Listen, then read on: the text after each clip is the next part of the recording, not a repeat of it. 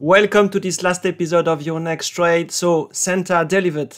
As we can see on that chart, the S&P 500 is up 15% from the lows that we had at the end of October. And that is true across assets. So we had the help of lower inflation, central banks moving, very accommodative fiscal policy, and now we end up with markets up 20% for the S&P, 50% for the Nasdaq. And what is very true is people that were telling you to be selling when it when we were at 4100 are now telling you that they are up 20% for the year and that they were calling this market to go up. So Santa delivered, social media delivered, we are all happy. So very well done to the bulls. They made good money. That was a tough year. Uh, and now we are going into 2024. So let's start with the week to date asset performance. What did we have? We had a risk on. So stocks up, S&P 2.5%, Russell 2000 up 5.5%. So very, very strong. True as well in Europe, 2.1, 2.4%. So there has been a strong correlation between European markets and US markets. So if you look at the STOXX 50, the STOXX 600 in Europe, they are roughly this up the same as the S&P 500. Dollar weakening. Um, why? Because we had the uh, central bank, we get the FOMC on Wednesday, and it was pretty much clear that they were dovish and that the market should expect some cuts. So that's something we're going to be talking later on. Bitcoin's down 5% after like a tremendous rally, so uh, we should not be that much concerned. I mean, the uh, really the bitcoins, the cryptos have been very strong for the year. Gold, WTI, copper, um, commodities. So that's going to be an interesting for for 2024 with the uh, many questions asked about you know the weakness or not of the US dollar. Are we going to see a bounce of the Chinese economy because the expectations are now very low? Uh, all of that makes some uh, good point for the commodities. So let's look at the week-to-date industry performance. So we get the S&P that is here. You can see many, many winners. Uh, so uh, the, the FANG of this world have not been doing so great versus the rest of the market. And the short uh, stocks, the, the most shorter stocks, have been really strong, as we can see with the solar, regional banking, banking doing pretty well uh, with the help of the central banks again. So very strong move on the week to date basis. If we jump into the week to date, real estate up 5.5%. Obviously, that is due to the US 10 years, 5 years, 2, year, two years, 30 years, all the yields coming down aggressively. S&P still 2.4. That is obviously the same. Utilities, actually, you could have expect a, a better uh, performance from the utilities. IT, more or less like the S&P. So what about going into uh, another asset class, looking at the rates? So most interesting points is now we are at 3.9% on the US 10 year. So we are down 30 bips uh, for the week. So that's a very aggressive move. We are below the 4%. So as we see in this chart, we went from over the, the, the summer from 4% to 5%. Now we are back to, back to this 3.9 to 4%. So very big move. If you look at the, the 10 versus the 2, we are still negative at 50 bips. I'm interested into this one, which is the Fed expectations to the Fed fund rates, which are these days at 5.33%. If you look at the December now, expectations are at 402, which means that you get a differentials of 130. So 1.3% between December now and December next year. So that gives you roughly uh, five cuts going into next year. So that's very aggressive. Um, what the Fed has been saying on Wednesday that uh, the um, that they will cut by 75 bips, so three cuts. So there is a bit of a differential between this 130 and this 75, so uh, uh, a delta of 60 bips. So the the market is expecting more cuts. When is the market expecting cuts to start? So 533, if you look at it, we are talking 514 roughly. So that will be from uh, April to May next year, uh, where uh, market participants are expecting the Fed to start to cut. What is interesting, if you if you look at the at when we started the rally, which is roughly end of uh, October, start of November, uh, versus the last, and looking at December, we went from 461 expectation at the end of December to 402. So we moved expectation from from uh, uh 460 to 402, which is 60 bips. So very aggressive.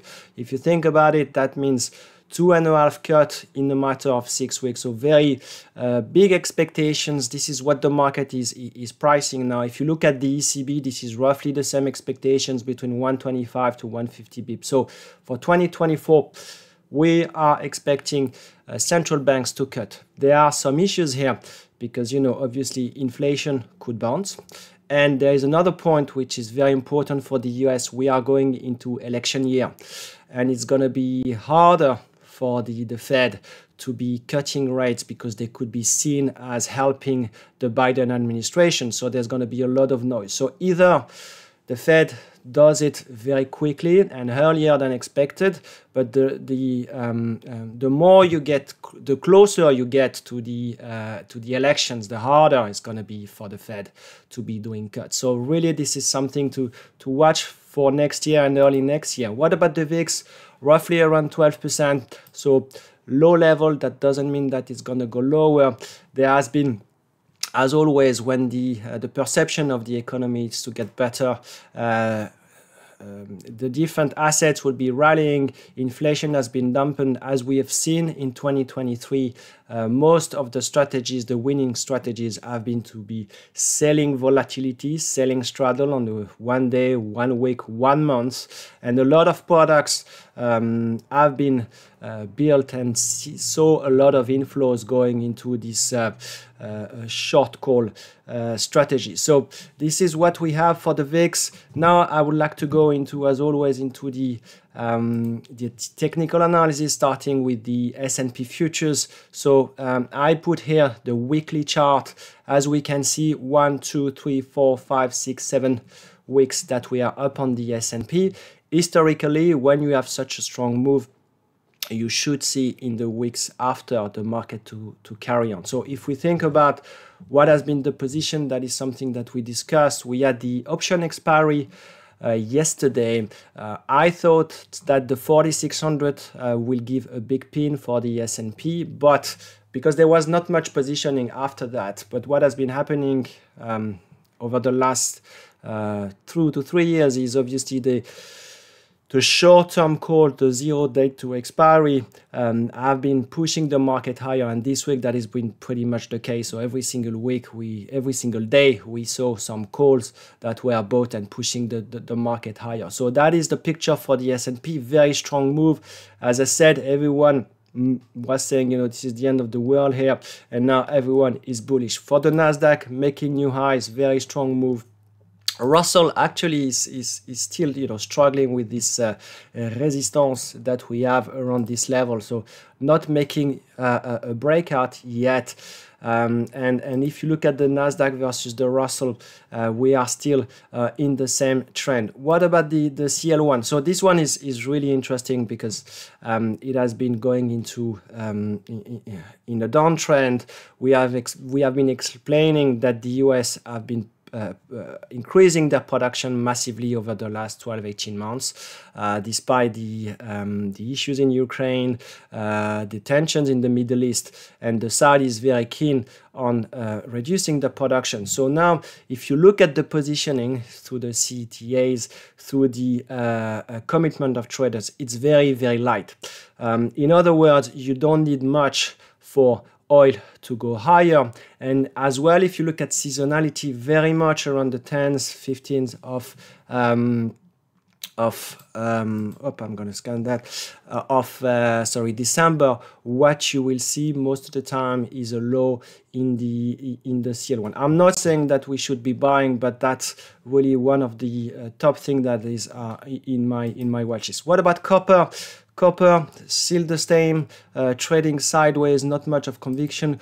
Gold, uh, we discussed before that we, it made a climax. Since then, we are trading around the 2000 level. Uh, euro dollar uh, 110 now 109 um, is not really making any breakout. This one which is very interesting for this for this week which is which is the dollar yen. So we are now at 142 we get the Bank of Japan. The decision is expected on Tuesday. Uh, they have been kind of um, uh, telling the market that the um, negative yields are done and dusted. Uh, so we need to have a confirmation for the uh, the yen to keep on strengthening.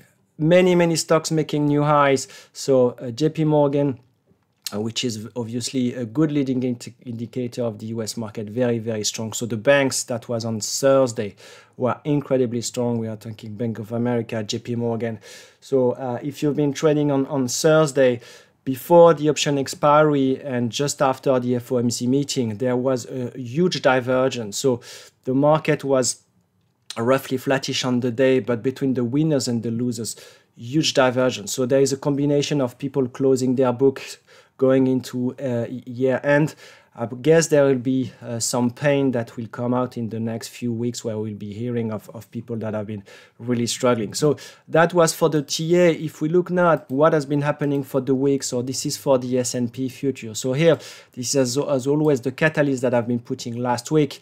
Uh, so we discussed the central banks, this is the central banks. This is the move that we had from the FOMC. This is Powell saying, you know, uh, we think that the inflation is coming down nicely. Uh, GDP is still strong. Economy is still strong. Retail sales are still very strong. And the reason we are more dovish is because inflation is going to the direction that we are targeting, which is the 2%, even if it's going to be taking a bit of time. With that, you put the, the option expiry. As we know, um, option expiry means if you went above the 4600 level, which was uh, for the cash, suddenly people have to chase, have to chase this rally. The market makers will have to to uh, to rally, and what we've seen over this week is a record high of use of calls. So the market is very much driven by calls. That means you play the right hand side of the uh, distribution. It's working every single day, and as work as long as it works, uh, this is the play to make. So here, this is the option market and uh, Tier1 Alpha, which used to be free. Now it's not free, and it's uh, offered by I think someone. Um, but uh, you see the size of the notional here that has been here, the expiry which was above 5 trillion on, on Friday. So very much uh, you need, we all need to understand, you know, where are the different option interest, um, open interest, so where's the gamma, where's the delta, and that's true on, not only for uh, indexes, but for stocks. And finally, that was for the dollar yen, so it's pretty much the differentials uh, between the US 10 years and the Japanese 10 years. Uh, US 10 years has been aggressively coming down. Expectations are for the Japanese 10 years to stay at least around this level, so that will be uh, something to uh, watch for the next few months. So what about the catalyst going into this week? Um, obviously, many, many market participants have been reducing positions. Uh, it's like, you know, the year is over. Don't expect like crazy moves. Um, why? Because we got the option expiry, we got Christmas, we got new end of the year uh, and very much you know now it's it's about going into 2024 so we get still the bank of japan rate decision that is on tuesday we get a lot of uh, housing number from the uh, NAHB, the building permits, existing home sales. Uh, we do have like some leading indicators. We do have like the PCE as well. We get some other numbers with inflation with University of Michigan. We get as well some interesting earnings with uh, uh, Micron. We do have like FedEx as well. We got Nike. So some uh, some names that are still interesting for retail sales. Um, and finally, you know, what sh should we be looking? It's terms of seasonality. So as we can see for 2024, we have we have followed the pattern, the seasonal pattern. Uh, it's just because the reason the, those flows going into the market or exiting the market. Uh, if you look here you can argue that there is another 2% on the S&P between now and the end of the year. If you look at early 2024, uh, there might be a case for a, a, a grind into uh, the expiry going into January. I don't think that there are that many positions to open, so it's going to be really uh, short, uh, uh, short dated options. But more interestingly, if you look at seasonality in January and February for the S&P, it's not really good. It's not that bad, but you know we are talking on average for the last 25 years, the market down 50 bips to 1% in January and February. So be careful on, on people saying, you know, you're going to have another firework. Um, and, and I'm looking at 2024. So in uh, mid-January, I will do a 2024 idea generation webinar. Uh, and that's something that we cover in 2020 because we, we are all getting older. Generally, what you see in an election year over the first six months of the year is not much of a move, a bit of volatility, not crazy volatility, but you see overall the market pretty much flattish and then it moves after the election or around the election. So uh, that is something to keep in mind. If you look at valuation, now the S&P is at 4,700, 4,800 uh, with the EPS for 2023 at 230. If you put the EPS at 250 for next year, 250 times 20 times, that gives you 5,000. So again, um, just to put everything into perspective, I've been pretty wrong on some macro analysis. I've been pretty lucky uh, to close my short. Uh, that was on the 20th of, of October. I didn't manage to do that much in the uh, move up. I'm now, as I've been saying, you know, short Europe because I think it's it, it's, it's complete uh, uh, craziness. I do have like some put spreads on the S&P. I've been pretty wrong on the timing on the XBI, uh, and I'm not gonna be. I'm still up on the year, so that's a good thing.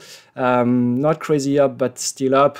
Um, and I want you to be careful of people telling you, you know, we are up double digit. It was an easy one. Again, six weeks ago, no one or very few people. So we do have like some people on the Discord community that kept on being bullish. If you kept on being bullish and you come into the community just saying, you know, it's going to go higher, it's going to go higher, and you don't say something that makes sense, it's not interesting. So don't take, don't take it personal. We have a community. We try to make points that are interesting. What we have been seeing over this week is actually people coming and say, I told you, I told you, and six weeks ago they were never there. So this is what happened when the market is very extreme. Don't take it personal. It's all about, you know, trying to be making money. So what is it? This is it for me for, for this year. I hope you enjoyed the content. If you like what you see, you put a like, you put a comment. You can reach me. There is a Discord channel that is for free.